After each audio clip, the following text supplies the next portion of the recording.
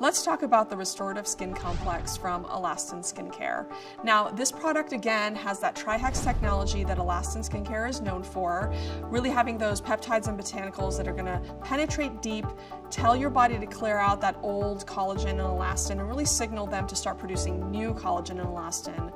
With this product, however, it's kind of a little bit differentiated from the other products from Alastin Skincare that also have the Trihex technology in that it has an added peptide that is really going to plump up that outer part of your skin. It's gonna make the skin look more hydrated and help with those fine lines and wrinkles.